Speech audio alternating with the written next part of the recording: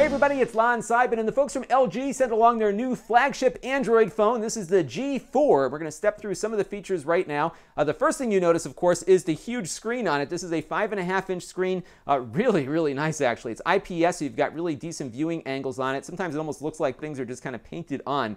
Uh, 2560 by 1440, that is a quad HD display uh, at 534 pixels per inch. What that means is that things look really sharp. You don't see any pixelization or anything like that. Uh, really just a beautiful thing to look at here. Very nice to read things uh, on the screen. It's got a Snapdragon 808 at 1.8 gigahertz uh, with 3 gigabytes of RAM. That means that it's very snappy in its performance. So we can just pop into Chrome here as an example. You can see how fast uh, things come up. I can click on an article here and it just really flies right open. It supports wireless AC. That's what we're using here in my house right now. So uh, supports the latest wireless technologies. Very, very fast and very responsive for uh, reading and other things. So nice big screen. Uh, really nice to read on too. Uh, it does support SD cards, so you can actually uh, pop open the back of the case here, and I'll show you how that works. And you just there's a little notch here on the side, and we can pop this open here and uh, take off the back of the phone. You'll notice that the battery is removable, uh, and you can put an SD card in here for storing images, and that's because the camera on here is got a pretty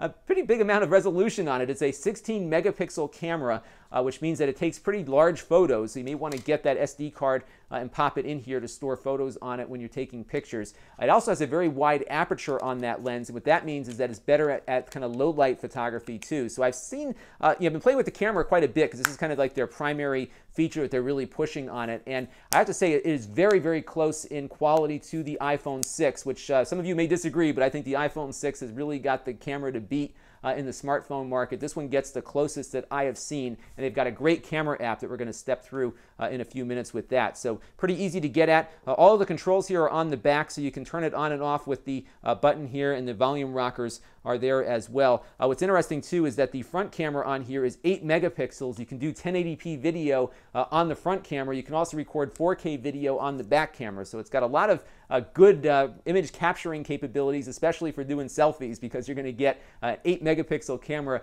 uh, right up front for taking those pictures. So pretty cool stuff. So what we're going to do now is uh, kind of step through some of the features of the phone, look at some performance, some gaming performance in particular, and then look at some of the image quality and compare it with the iPhone.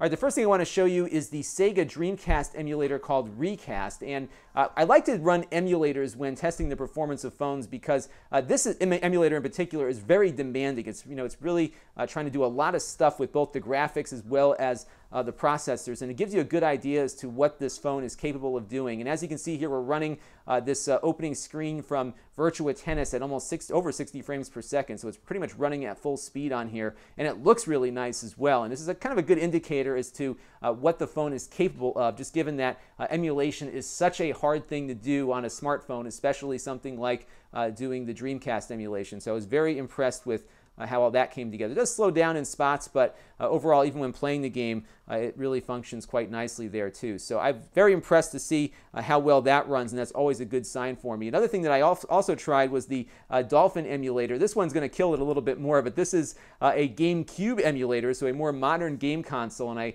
uh, just wanted to see if wave rates could even get to the title screen. Most of the, the Android devices I test on, we look at postage stamps, and it's certainly not very, very playable. I tried to play a game on it before, but um, it, it is able to get to the boot up screen here. it gets really slow when you get into gameplay, but we're getting there now where these phones are getting as fast, almost as fast as some of the PCs that we try to run this stuff on. So we're seeing uh, some better improvements uh, overall with that. Now, one thing that was interesting though, when I ran the 3D Mark benchmark, this is the older benchmark. They have a new one out now that completely kills everything you run against it, but uh, the current older benchmark uh, is uh, running at 18,646, uh, which actually puts it below some of the other uh, premium phones out in the market like the Droid Turbo and the Moto X. And it looks like it comes down to the physics frame rate, which is more processor intensive. Uh, it is able to keep up graphically with those other platforms, so I think it's more a function of the processor that they've chosen for the device. But you know, for most of what you're going to do with an Android related to gaming, uh, this is going to be just as good as just about any of the other phones out there, given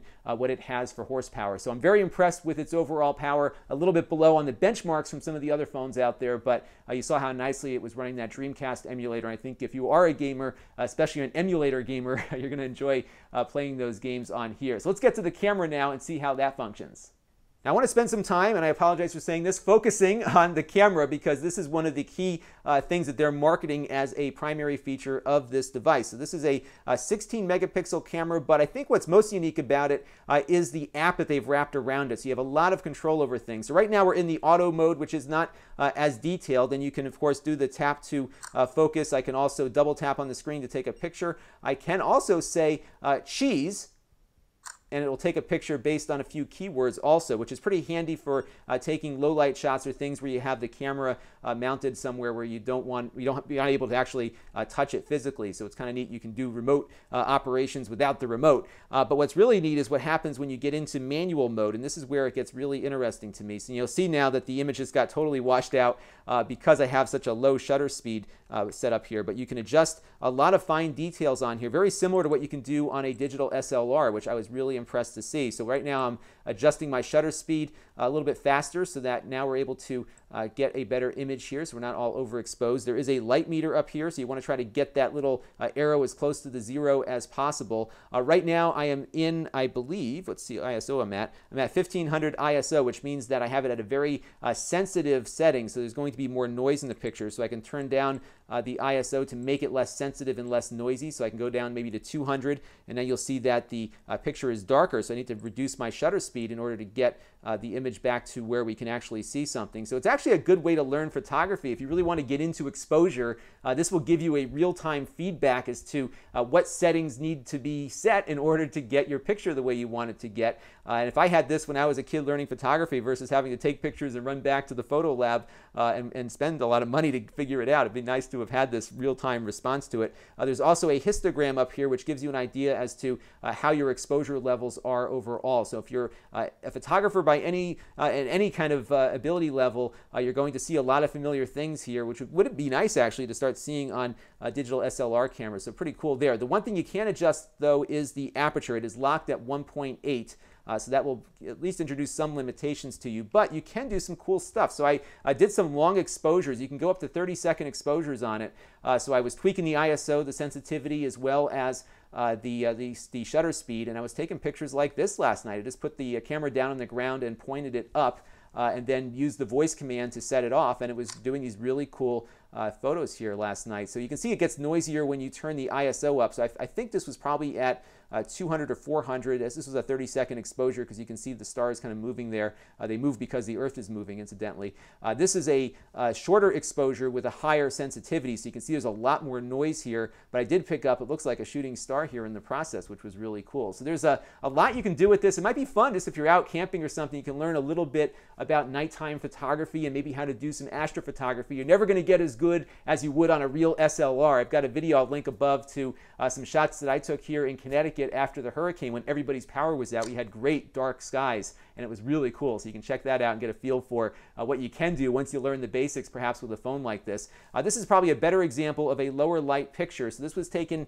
uh, inside my home. These are sometimes shots that get really grainy and noisy uh, on a uh, traditional camera. And as you can see, the, uh, the image quality is pretty good. I'll zoom in here a little bit and you can get a feel for um, just how uh, sharp it is. So I was very impressed with it. I think it's uh, close to what you would see uh, on an iPhone for sure. I'll give you another image here, which is a comparative between the two. So on the left is the iPhone uh, in auto, auto mode. This is the LG in manual. Uh, so the contrast is a little bit off on it, but I think you could adjust that uh, when you get into your Photoshop or post-production. So the image quality is good. It's got a nice bokeh, as you can see here, the kind of the blurred out background. Um, the image quality I still think is a little bit better on the iPhone, I have to say, just from you know how it's processing the image, but uh, it's definitely getting there. What's also interesting about the camera is that uh, it shoots in RAW. So if you've ever used a digital SLR, that's the best way to shoot photographs. The files are huge, but you're getting a really what the camera was seeing, and then you're able to interpret those things in software. Uh, what was interesting was when I pulled it up in Photoshop, uh, this is that same exact image you just saw because I shot a, it'll shoot RAW and JPEG simultaneously. Uh, look how noisy the image is here. It's really interesting that uh, the raw image is so noisy versus what the, uh, the JPEG uh, version is. And that's because uh, the camera is, or the, the phone is actually doing a lot of interpretation on the image. So I'm just going to open it up without uh, doing anything to the image initially here so you can get a feel for what it looks like as, the, as a raw image coming out of the camera. So it is a bit noisy, which was really interesting. So you're going to have to do a lot more work on the raw images than you might on an SLR. So it's nice to have that Uh, but I think if you really want to get the images close to uh, what the camera will spit out automatically in its JPEG mode, you might need to do a little bit more work there. But uh, to have all this on a smartphone, I think is awesome. And I'd love to see uh, maybe play with this a little bit more as I'm uh, getting more experience with the phone to see how I can use this uh, better as a camera. My only gripe again is the fact that you can't adjust the aperture. So if you could do that, uh, you'd have a pretty much a fully functional manual SLR style camera uh, that you can carry around with you. But it does uh, very quickly boot up the camera when you want to get into it. So if I'm out at the main menu here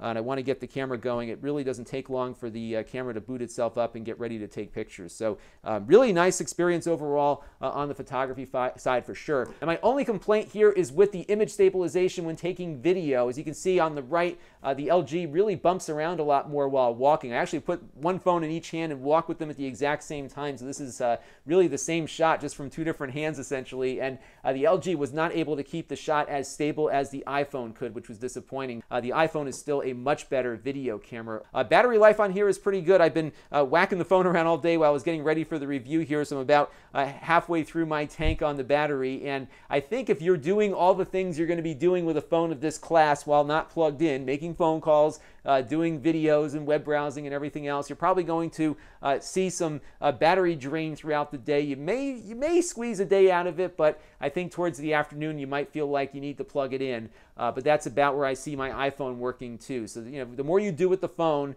uh, the brighter the screen is, the more you're going to have to uh, get that battery charged, or at least carry a second battery with you that you can swap into the phone while you're using it.